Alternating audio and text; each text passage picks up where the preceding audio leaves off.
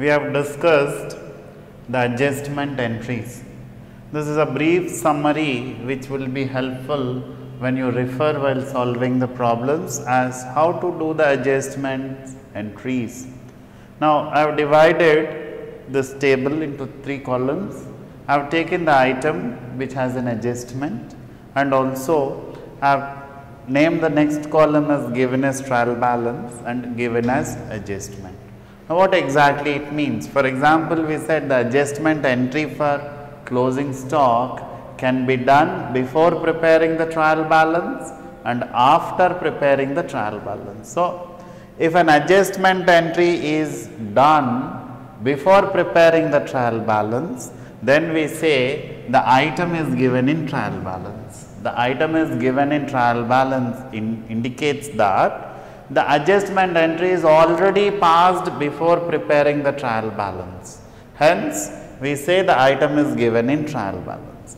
Now, suppose the adjustment entry is not passed and trial balance is already prepared, then you have to do the adjustment in this way and for that we say if the item is given as adjustment. Generally when an item is given as adjustment, you will see these items along with the amounts as statements after the trial balance.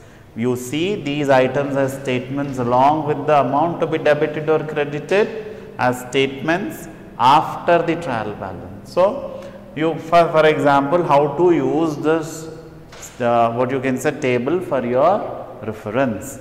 If you see closing stock in a problem, you will see you may see closing stock in trial balance or you may see closing stock as adjustment. So, when you see closing stock in trial balance, you will give it only one treatment. The treatment is you will you will record closing stock on the balance sheet asset side. I have used the short form BSA. Now, similarly, if a closing stock is not adjusted and you have to do the adjustment, then you will take it in the balance sheet asset side once and also you will record it in the trading account on the credit side completing the double entry aspect of one debit and one credit. Now next item would be depreciation.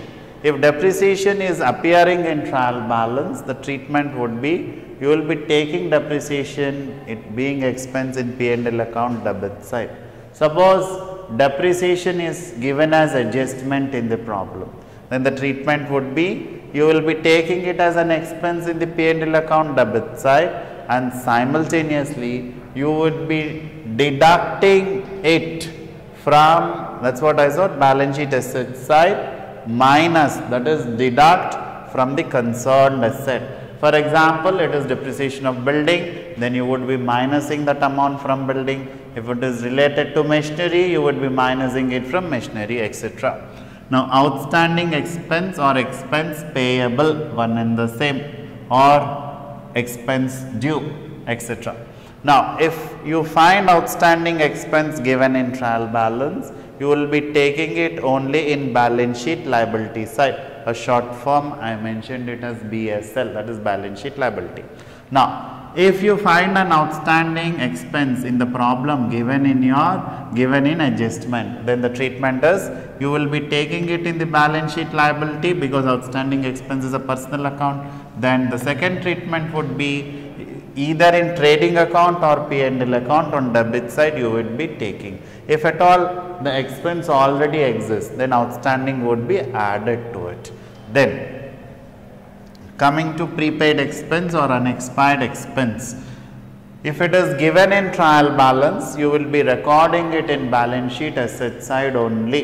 If it is given in adjustment you will be recording it on the balance sheet asset side and similarly in trading account or P&L account, you will be deducting this prepaid expense on debit side from concerned expense. Let us say salary prepaid. So, you will be deducting prepaid salary from salary on the debit side of P&L account because salary being indirect expense it will appear in P&L account as you know. Then outstanding or accrued income the treatment would be it would be taken in balance sheet asset side if you if it is given in the trial balance. If it is given in adjustment it will be taken on balance sheet asset side or recorded on balance sheet asset side and also recorded on the credit side of P&L account. Now, next is income received in advance. The treatment is if given in trial balance, it will appear in balance sheet liability side and if it is given as adjustment, the one treatment would be it will be recorded on the balance sheet liability side and the second effect would be it will be recorded on the P&L account credit side as a deduction from related income. So, we will move on to the next things.